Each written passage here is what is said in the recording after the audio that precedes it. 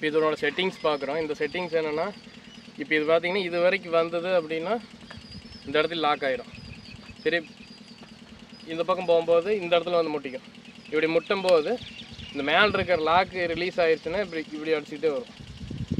இந்த கடைசிக்கு வரும்போது இந்த லாக் பிடிச்சிக்கும் இப்போ இந்த லாக் ஓப்பன் ஆகிடும் இந்த லாக் ஓப்பன் ஆனால் என்னென்னா இது ஃபுல்லாக அது ஓப்பன் ஆகாது. லைட்டாக அடிக்கும்போது திரும்பி ரிவர்ஸ் வந்துடும் இந்த பொசிஷன் வந்ததையுமே இந்த லாக் க்ளோஸ் ஆயிரும். இங்கே இருக்கிற லாக் க்ளோஸ் ஆகிட்டு அப்புறம் பழையபடி இப்படியே வரும். இது வந்து நம்மளுக்கு என்ன டிகிரி மட்டும் நலையணும்? இப்போ பத்து டிகிரி மட்டும் நலையணும்னா அந்த பத்து டிகிரிக்கு மட்டும் இந்த ஸ்க்ரூ ரெண்டே அட்ஜஸ்ட் பண்ணால் நமக்கு வேணுங்கிற அளவுக்கு இது பண்ணிக்கலாம். இதில் இங்கே ஒரு ஸ்க்ரூ இருக்கும். இந்த ஸ்க்ரூ அட்ஜஸ்ட் பண்ணால் தண்ணி வந்து பாயிண்டாக போய் விழுகிறது வந்து நிறைய அதாவது பக்கத்துலேருந்து எல்லாமே நலையிற மாதிரி. இதுவும் அதே மாதிரி தான். இது வந்து இந்த தண்ணி இதில் போய் இதில் அடித்து போகும்போது ஏகமாக போய் விழுகும் ஒரே பாயிண்டாக போய் விழுகாது இது இந்த செட்டிங்ஸ் எல்லாம் கரெக்டாக செட் பண்ணிட்டா நம்ம வேணுங்கிற அளவுக்கு எங்கே வேணாலும் வச்சு ஒரு வயலினுடைய கார்னரில் வச்சு அந்த கார்னர் மட்டும் நலையணும்னா கூட இதில் வச்சு நலைய வைக்கலாம். இந்த செட்டிங்ஸ் மட்டும் கரெக்டாக செட் பண்ணணும். எக்ஸ்ட்ரா அடுத்ததுக்கு போகாமல் ஈஸியாக முடிச்சுக்கலாம். நான் அந்த பைப் பார்த்தீங்கன்னா எல்லாமே எவ்வளோ போட்டிருக்கணும் அதுக்கு வந்து உள்ளே ஃபிக்ஸ்டாக பைப்பு உள்ளேயே விட்டுறது. ஒரு டைம் ஃபஸ்ட்டு போட்டுட்டு ஒரு ரெண்டு டைமுக்குள்ளே நம்ம தண்ணி விடும்போது நம்மளுக்கு கால்குலேட் பண்ணிக்கலாம். இது எப்படி நலையுது அப்படிங்கிறது. நான் மெஷர்மெண்ட் பண்ணுறது எப்படின்னு பார்த்தீங்கன்னா உங்களுக்கு இந்த ஓரத்தில் இருக்கிற பைப் பார்த்தீங்கன்னா இந்த தண்ணி எவ்வளோ தூரம் அடிக்குதுன்னு ஃபஸ்ட்டு அந்த கண்ணில் நம்ம மோட்டரினுடைய ப்ரெஷரு எவ்வளோ தூரம் அடிக்குதுன்னு நம்ம இதை வச்சு கால்குலேட் பண்ணிவிட்டு அதுக்கு தகுந்த மாதிரி நம்ம அளந்துக்கலாம். இப்போ பார்த்தீங்கன்னா நான் பார்த்தீங்கன்னா இருபது அடிக்கு இருக்கிறது பார்த்தீங்கன்னா இந்த ஒரு பைப்பு இப்போ ரெண்டு லென்த்துக்கு நம்ம அடிக்கும். அந்த ஜா இந்த ஜாயின்ல இருந்து போட்டால் அந்த ஜாயிண்ட் வரைக்கும் அடிக்கும்.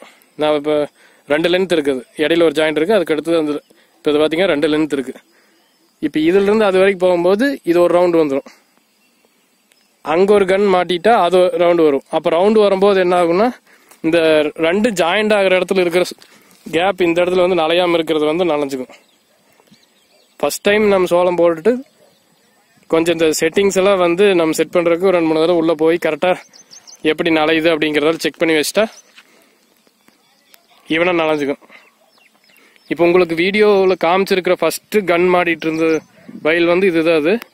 இதுக்கு வந்து உள்ளே பைப் இருக்கு. வேணா உள்ளே போய் பார்க்கலாம்.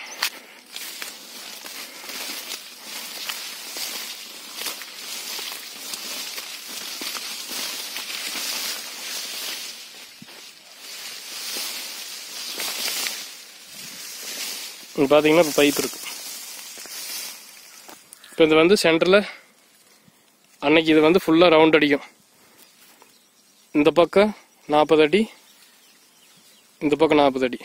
இந்த வயல் வந்து கரெக்டாக நலையுது அந்த வயல் வந்து கொஞ்சம் பெருசாக இருக்கிறதுனால எக்ஸ்ட்ரா ஒரு லென்த்து வந்து இடையில போட்டு இந்த ஜாயின்லேருந்து ஒருக்கா அந்த பக்கம் ஒருக்கா விட்டுட்டா அந்த கார்னர் நலையாததும் சேர்ந்து நனைஞ்சுக்கும்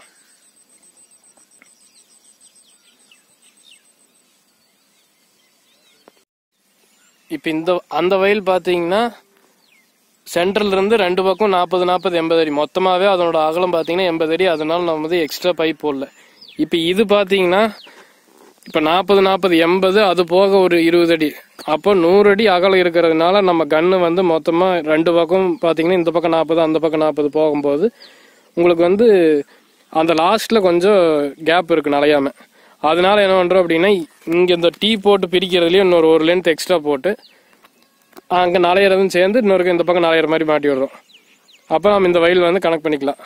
நான் வந்து ஒரு தடவை சோளம் போட்டால் ஒரு ரெண்டு மூணு தடவை நம்மளுக்கு எப்படி கன் ஓடுது எப்படி ப்ரெஷருக்கு ஓடுது அப்படிங்கிறத செக் பண்ணி பார்த்துக்கலாம். நம்ம செக் பண்ணி ஒரு தடவை செட் பண்ணி விட்டுட்டோம் அப்படின்னா அந்த கன்னை மட்டும் கழட்டிட்டு போய் கழட்டிட்டு போய் வச்சு எங்கெங்கே தேவை இருக்குதோ அந்த மாதிரி ஓட்டிக்கலாம். பைப்பு ஃபிக்ஸ்டாக அப்படியே விட்டுட்டோம்னா ஒவ்வொரு தடவையும் பைப் இழுக்க வேண்டியதில்லை. சோளத்துக்கும் ஒன்றும் பிரச்சனை இல்லை. இப்போ கன் எங்கெங்கே இருக்குன்னு கரெக்டாக பார்த்து இப்போ அதுக்கு கண்ணை மட்டும் கரெக்டாக கழட்டி கழட்டி மாட்டி விட்டால் போதும்.